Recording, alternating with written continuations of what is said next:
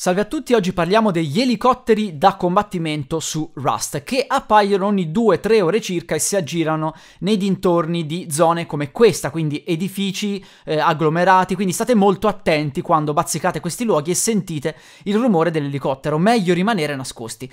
Quando attaccano gli elicotteri, allora se siete troppo vicini e avete più di due pezzi di vestiti, quindi non so, stivali, eh, protezione al torace, alle gambe, siete a tre pezzi di vestiti e quindi l'elicottero vi può attaccare. Perché c'è questa cosa? Perché gli utenti appena nati, nudi, senza armi, tecnicamente non si potrebbero neanche difendere, quindi questo è fatto per avvantaggiare un po' eh, i novizi o quelli appena nati. Inoltre eh, vi possono attaccare anche se avete un'arma che può raggiungere la distanza, quindi un fucile ad esempio, e ce l'avete nell'inventario rapido, quindi anche lì fate molta attenzione.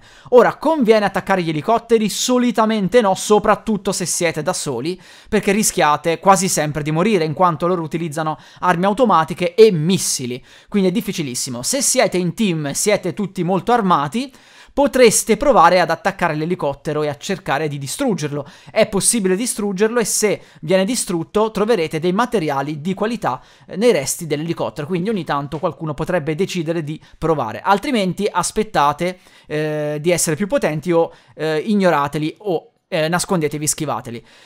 Attenti anche di notte perché nonostante loro abbiano un sistema di illuminazione che crea un cono di luce, non è che se non siete in quel cono di luce non venite avvistati, venite avvistati comunque anche se vi avvicinate da dietro, quindi state molto molto attenti. Spero di essere stato utile, un saluto a tutti.